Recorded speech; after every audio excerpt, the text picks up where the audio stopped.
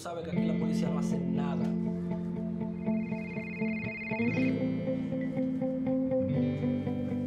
Yeah, I've done seen more of y'all come up around here than I care to remember. they won the day. They saved the world from tyranny.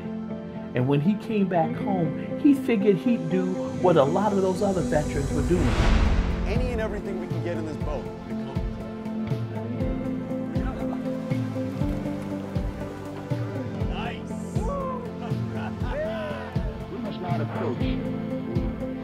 Observance and enforcement of this law.